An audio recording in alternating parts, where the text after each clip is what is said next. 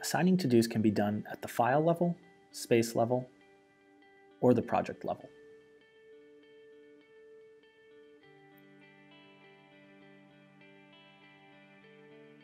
To assign a to-do specific to a file, start by leaving a comment explaining what the to-do is.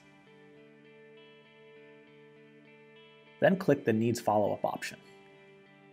Start typing the name of the person who you want to assign the to-do, and then select them from the dropdown.